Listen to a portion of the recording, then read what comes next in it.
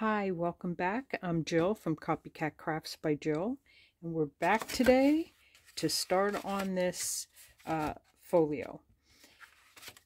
My suggestion is to pick your papers and make your folio to that size.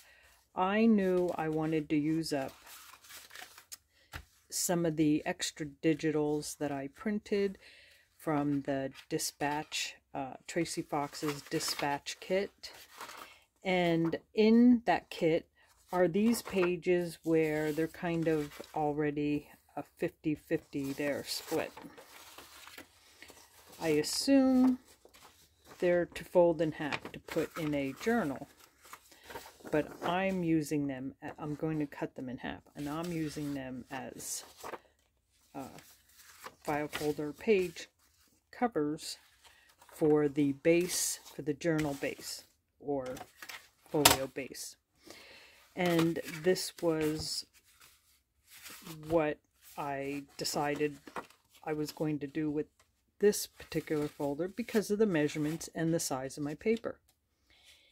If you don't have, if you haven't picked out your paper, you don't know what size it is, you can go with whatever size um, you know, you want and then fit in your paper later. E either way works. It doesn't really matter. It's just I had my digitals already, so I wanted to use them up. And um, I also had, obviously, two different file folders here. You can tell by color they're not the same. And as I was working with this one, I really wanted to reinforce the, the spines. I already started uh, distressing this side, but I just used Dollar Outlet from the Dollar Tree, their tape. And I cut a, a cut a piece of straw to stick in there so that I don't keep losing the flap because if you've used Dollar Outlet tape, it's so thin that once you, you lose the sticky end, unless you have about an hour and 47 minutes to kill, you just throw throw it away because it's not worth trying to waste time on that. But I cut a, a really thick piece of it. It was actually from hand soap when it was empty the straw part, I cut a piece of that off because a regular drinking straw was not thick enough to hold it, but that was pretty strong. And that's my that's my tip for tape, my tip tape tip. Um, anyway, I took a little piece of that. I didn't even bother going to the complete edges. It, you can, you don't have to. But I covered the back of the spine, not the inside. This is going to be the inside. I really feel you only need to do one side and because it is um, shiny, it doesn't want to take ink obviously as well as dry paper. So that is where I bring out my paper file and I file over to scratch it up. Once I scratch it up, then I put ink on it, let it dry, and I put a second coat of ink on it. My papers are going to come so close to the edge, you're not really going to, that's not going to be a, a concern for me. If it is for you, you don't have to reinforce it if you don't have the tape or you don't want to, or you can figure out a different way to reinforce your spine. Um, I've used that V-Tech uh, on spines. It's just I've found sometimes the the thicker you go on a spine, the harder it is to uh, not only manipulate your scoring lines, but just to keep it closed. And then I'm scoring harder and pressing harder. Next thing you know, I I, I weaken the spine just trying to get it to be more uh, maneuverable. So I, I just like this thin dollar outlet tape. And uh, pardon the noise, I'll try to take it away from the thing. And I just put it down over it. It doesn't it doesn't even matter if it wrinkles because we we sand that out. Then I take a card, an, an old card, and just really press it down. I even kind of press it up against the the score lines. Doesn't really matter if there's a little wrinkle in there or a little, doesn't matter. If you're worried about bending it, as you can see, it's the, the tape is so thin that it doesn't doesn't stop uh, or or in any way inhibit the score lines, but you you can gently you, you really don't have to, though. That tape from the Dollar Tree is so thin. I have a love-hate relationship with that, but that's for a different video. Then I take my uh, nail file, but it's for paper. I keep it in here. And I just rough it up a little bit. I do only... I put it at kind of an angle so that I'm not just filing away right over the crease where I definitely want the tape. I want the tape. I want the tape right on the score lines, so I don't want to completely saw through the tape there. And then I grab my ink. I'm I'm using walnut stain on this particular one, but you use whatever one you have. And then I just ink up the edges. Like I said, I let it dry and give it a second coat.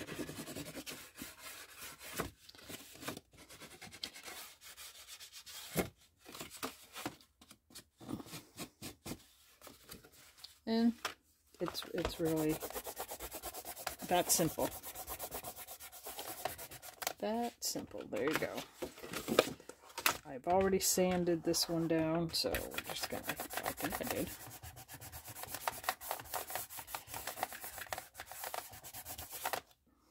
So, there you go. Reinforced gently. Okay, so I'm I just wanted to show you that. I actually have my file folder here that we're gonna I'm gonna show you how to make this one. I just wanted to give you a heads up. That's what you were seeing the brown on it for. And that was what I was going to be doing. You don't have to do that step. You don't have to ink if you don't want. Just wanted to show you my my tape. Okay, for I'm not sure why I got my scoreboard out first. Sorry. Because we will be cutting this file first, file folder. So if you have your papers picked and you want to make your file folder the size of your of your paper, just a hair bigger than your paper. Now would be the the time to measure that or sit it up, set it up and, and make your marks. I do want to say that I used to leave these extra little ends on because I thought they were fancy and really cute. That, for me, makes a problem when I go to put paper on it because when I leave it plain with no paper, then it looks sloppy and messy and not cool. And when I try to put paper on it, I really mess it up because it's for me. I can't I can't get that nicely done with paper. So I have started just cutting the end off. I and it actually looks neater. So that's what we're going to do. We're cutting that off. That gets thrown away. Then uh, I didn't go right to the edge. I can round that corner. Now I'm going to get my paper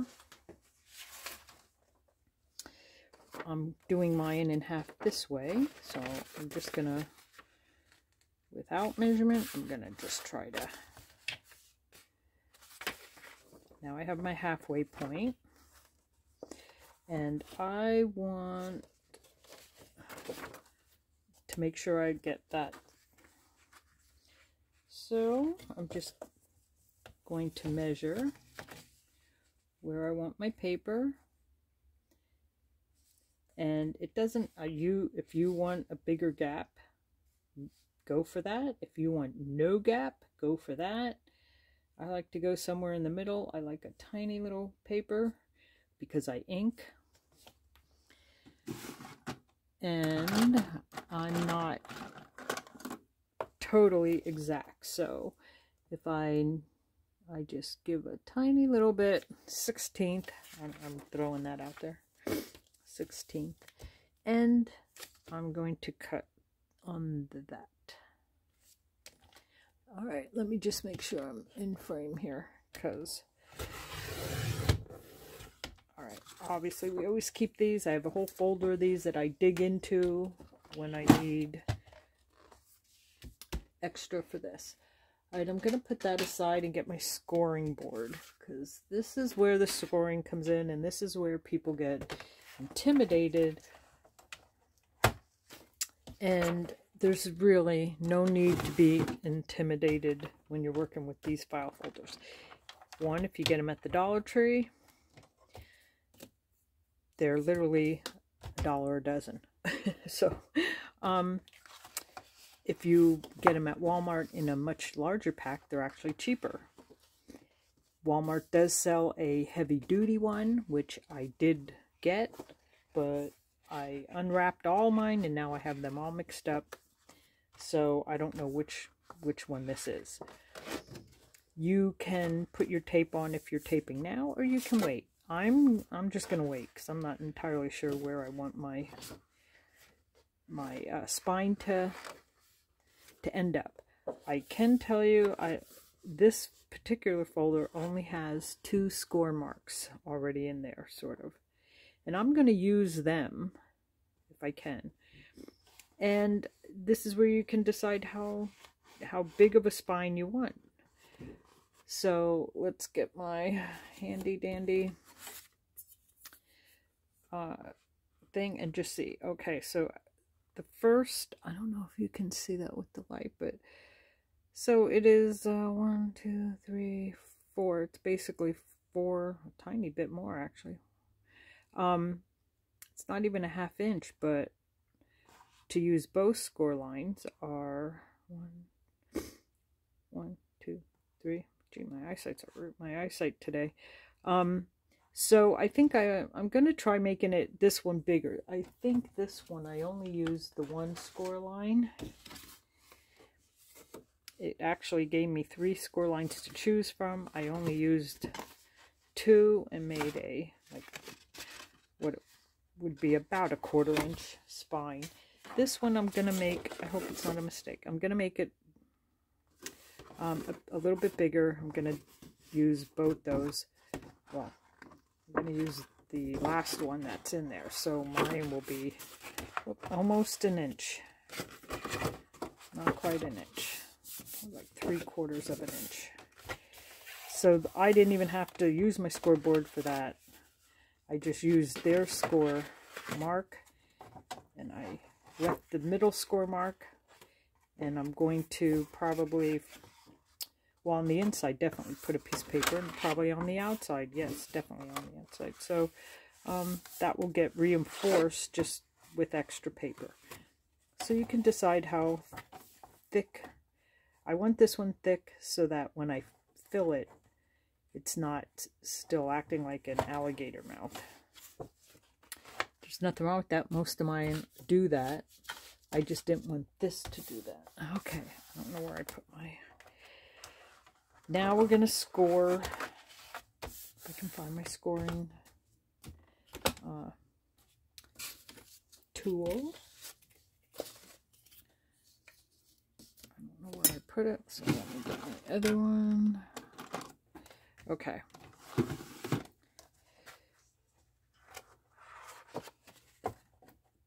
Literally that simple. I'm going to bring my paper back because now that I've already measured how high I want it, I already know where my half mark is because I folded it there. That's so I don't want it bigger than my half mark. Smaller's fine, but not bigger. So if I fold it on my half mark and hold it up, that's about where I want to do my next score line, which would be right. You want to give it a little bit. You want to be able to fit your paper in there. So I'm going to do a score line there. So I measured from this score line. Let me mark it. Let me mark my two score lines and you'll see why we're going to need to put tape tape on these because you can kind of already see the wear as the little bits of fold in the paper start to crack. So we will be putting tape on this. All right. Um, just trying to decide which way I want to fold it. I guess I want my flap on the bottom. So this is my outside. This will be my inside. So take my paper that I folded in half.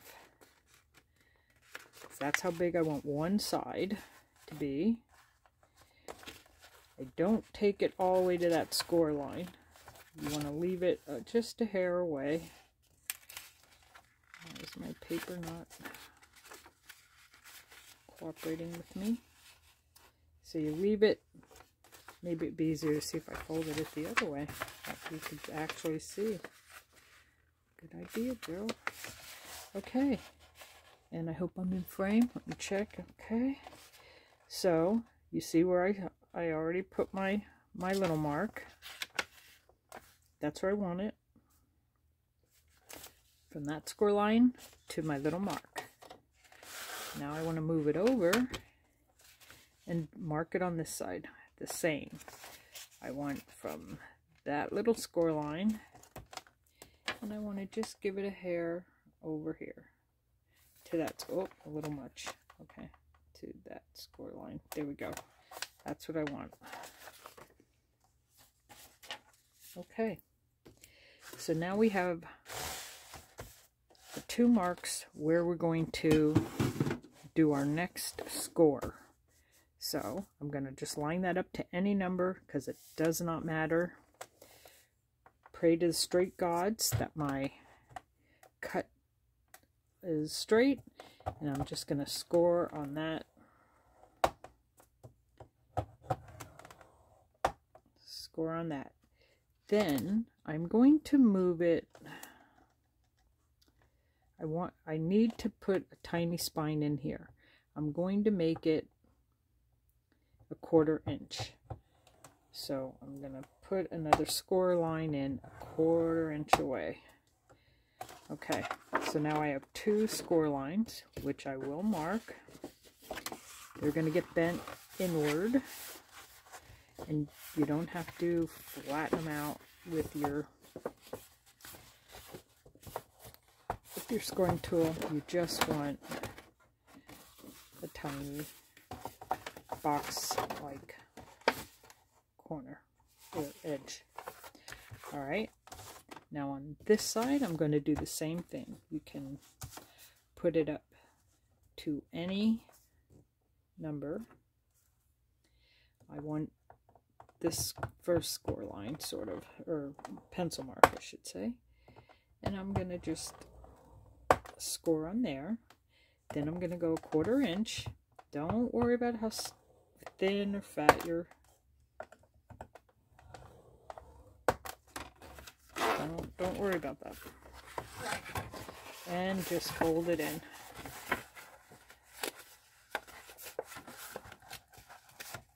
Think outside. Now we have our two sides. And it folds and once we get these more correctly, they will fold correctly when, when we're done. Alright, let's check to make sure this one looks like it. the folder may be a tiny bit a hair off. We'll have to see later. If it's a hair off, we will trim it. But there it is. Now I'm going to ink these two on the inside so you can see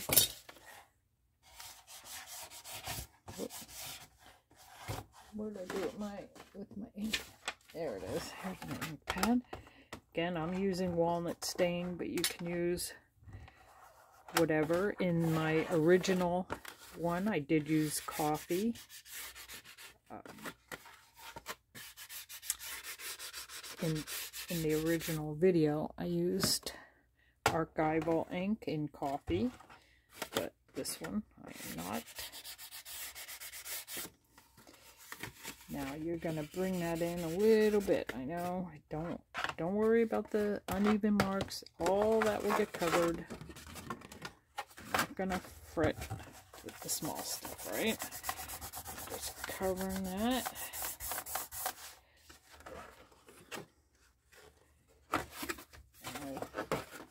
That's our inside.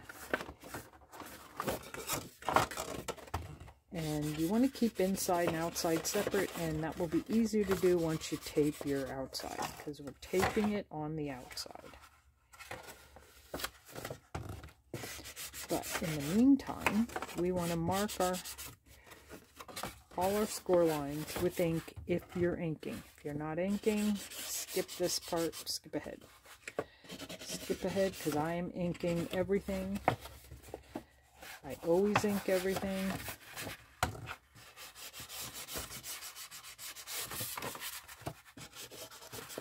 And down. Kind of just go back and forth. So little of this will be sticking out. You're not going to see the... You're not going to see what you don't want to see. Okay, so that's all my inside marks. Outside... We're going to put a layer of ink on the outside, but we are putting tape over it. So I suggest, just so we keep it straight, just mark it out uh, couple different panels. You're going to cover it with paper. You can even erase it before you cover it with paper, but we do want to keep our inside and outside clearly marked so we don't get confused. Oop. We're marking these first because then we're going to put tape down. We're going to color over, we're uh, inking over the tape as well, but for now we're just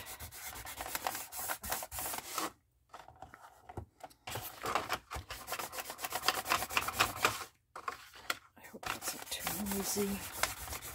Sorry if it is. I, I never know if putting away my scoreboard is going to be more noisy leaving it out.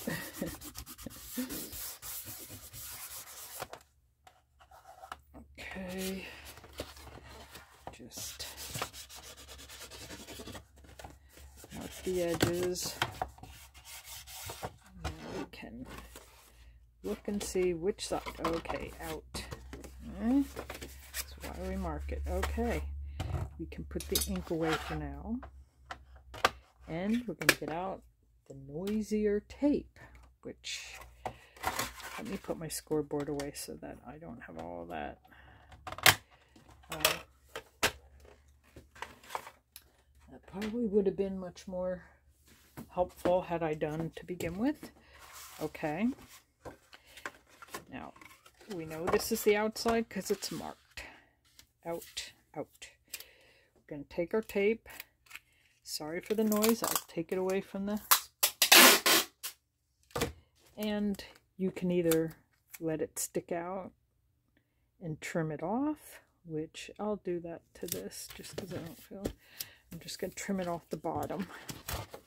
But I normally do not feel like it has to go all the way to the bottom once you have it on there.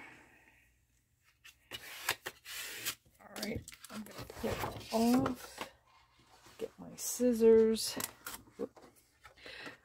You could fold it in. You you really could. I the only reason I don't I don't do that I it, it depends I guess on my project but I'm not doing that now so. Okay we have one down. Two more pieces to go. So sorry for the noise. It's a little short but I don't care I'll just move it up. Get your old card. Make sure it's good and flat.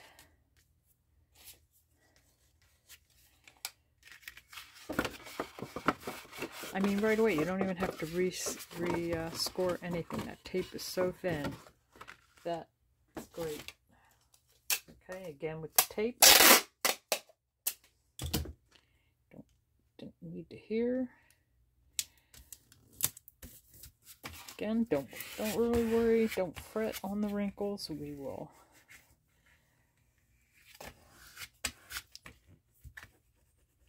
Just make sure it's kind of in the make sure it bends. It does. Just gonna get it in the spine there where it belongs. Get it down. Make sure I'm in frame sorry about keep checking about where I am, but if I don't keep checking if I'm in frame, I'm always out of frame. And when I, the closer I bring the camera, the easier it is to get out of frame. Okay, now we get our paper filer. You can use the rougher side or the softer side. I use the softer side. And I tilt it at an angle just to get inside the spine, trying not to over sand right on those score marks because that's really what you're trying to protect here. So, just gonna do all that.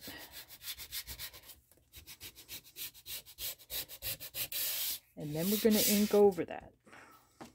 Just, I think I, it helps to put, I think it helps the look if you put a little bit of ink under it. We already have some of those colors under there, if you ink. Okay, let me see. Sometimes you have to go maybe just on these sides do a little bit rougher.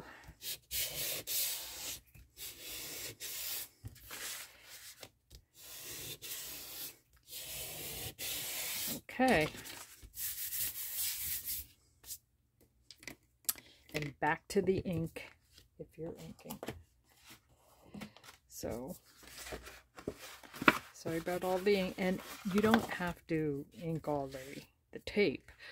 I scratch up the tape on the sides really well to glue to, not not to ink. Um, I lightly scratch the score marks one so that it does take ink but a little bit and uh, doesn't have just a pure shiny like I okay that's outside because we have it marked. This is inside. No tape. No tape on the inside. But all this tape will get covered with, with paper or whatever you're covering it with. So there we have our beginnings. And I think just for the sake right now, we're just going to re do the, the corners. Now my, I guess my tip is if you're going to do all your corners, you can wait till you cover it with paper. Otherwise, every time you do your corners ink, then you cover it, then you redo the corners, re-ink. It's probably just easier to wait till you cover it with paper and then cut once. If you're using a thick paper and a thick cardboard, well, you may want to not abuse your your uh, corner rounder. I do. I I it's my hobby. So let's see, walnut stain, you could ink the flap or not. I don't know if you're, did I call that a flap? Um, I like to leave these with no paper, but I may, normally, but I may cover these with paper, but, but I'm going to do the edges because when I put my paper on, it's a, a tiny bit might show, will show. So I, I want to I want to bring in the ink a little bit and just have those edges of those papers covered a little. Like that. And you want to do both sides. even if you're using material on the outside because I don't know what you're covering yours with mine will be paper and I suggest paper. It's easier if you make a mistake to fix. And it's less hurtful if you make a big mistake and have to uh, file it in the bin. I hate to use the word throw away but I will say the other day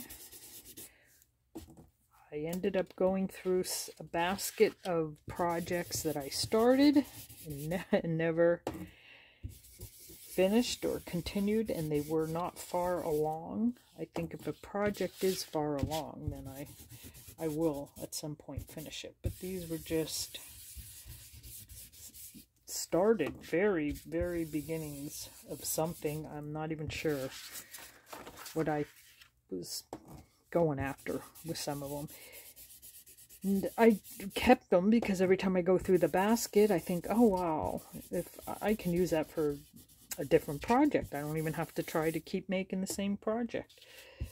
But this time I, I really did decide, you know what?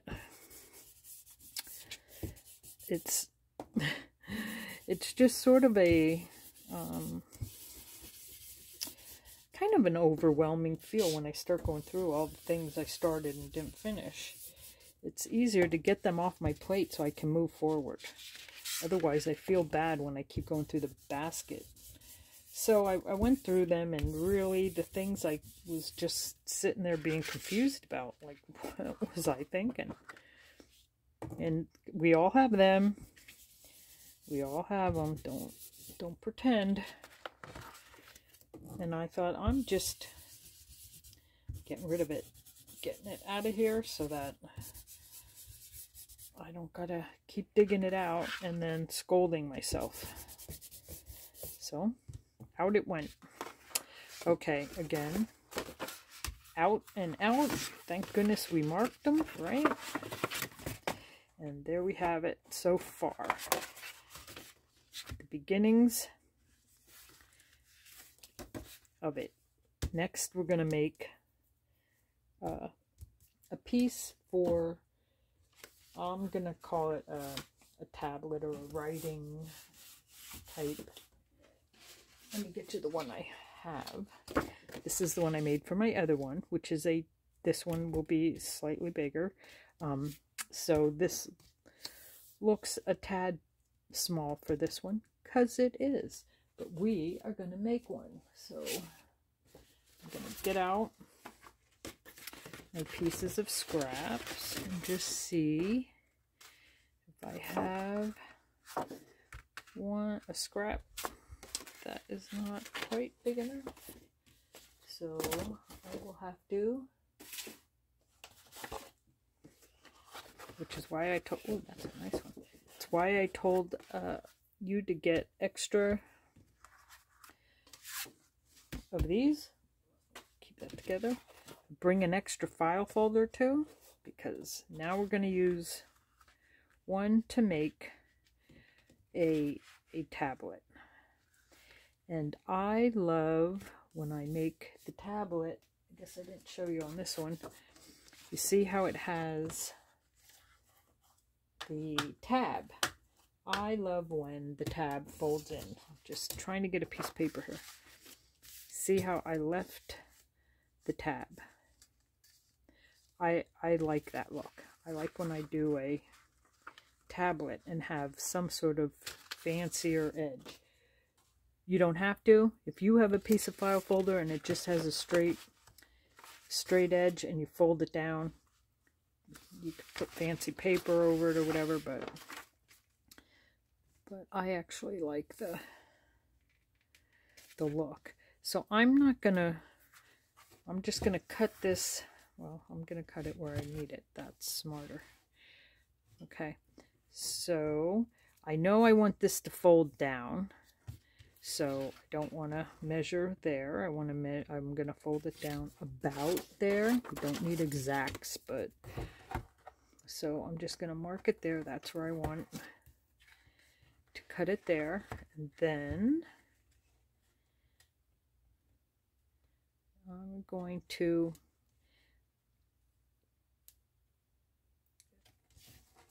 I'm going to put a belly band in the back of this one, I believe. So I want a good enough amount on both sides that I can glue a belly band down and still slide this because this will be the back that gets slid behind the belly band to hold the tablet pages. So that's where I want it. Made my decision. Bring my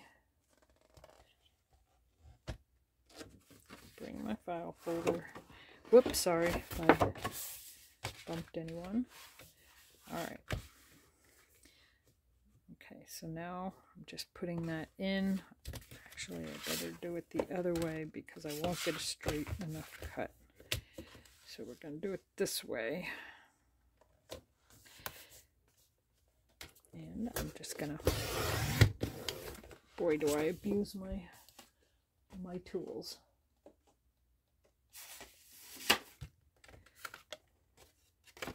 Okay, and then here is where I have my other mark. So I'm to cut on that mark. This is my leftover piece and it goes in my folder. This will be my my tablet and I definitely wanted enough room on both sides so that I can glue a belly band down, a pie, glue a belly band sideways, and slide this part in behind the belly band. So where do I want to make my... I want it about here. That's where I want to score and fold over. I'm going to get my little scoreboard out.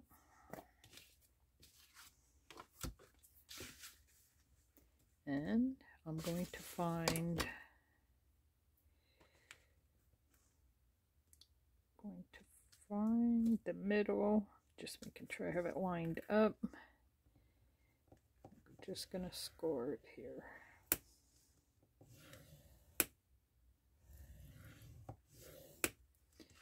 Okay.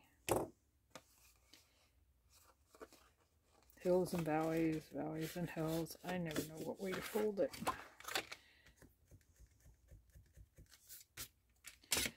There we go. So now this piece be our tablet for in here. And if you're covering this, I again would not round the edges unless unless you want to or you're not an edge rounder. But there that's the tablet that's going to go in. And I, I do think because we did both sides the same so it, it could go in either side. But we want a tablet. So now we have the tablet I'm going to ink where I know. Because even if I put paper here or whatever the I I want I'm not going to run the paper to the edge. If you glue a strip down and then trim out around it then none of your paper none of your file folder will stick out. But I never do that I don't I'm not good at, at scissoring work even though I love to fussy cut I'm just not uh, really good at that, so. Alright, um, you're not going to see underneath the, you will see here, so I'm going to do that. Let me just lay it down, ink, get out my ink, just do what I did and everything else. And I may put, decorate, you know, put paper down or something on the back here. Wow, this is a thick file folder. I can feel the difference with my... Okay, just in case we see that, we'll just give that a quick once over. Do the back.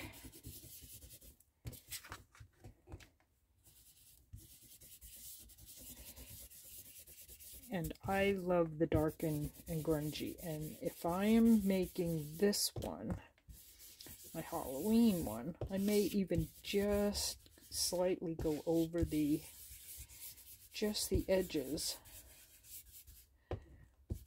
with, with one of my black inks, just to give it that extra dark, spooky look. Okay. So there. We don't need a, a huge tablet, just a couple pieces, a couple probably coffee stained, wrinkly. Yeah. Distressed and inked myself as much as my folder here. But here we have it, the beginnings, the base. And if you do this you don't even have to follow anymore. You can go for it. You can cover it with paper, book pages, newspaper, magazine, other digitals. It it doesn't matter. Whatever whatever floats your boat. But you now have the base. I have two bases now. I want I didn't even ink, finish inking this one, but here's my my original.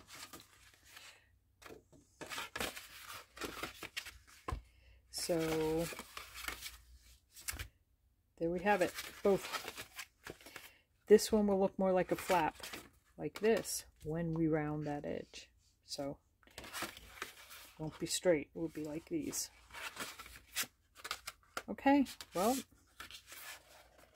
I'll be back and cover mine with, with my paper, one or the other or both. And hope you join me for that, but if not, you just did this part, have a blast. Go work on it. Otherwise, I'll see you in the next one. Happy crafting. Hugs.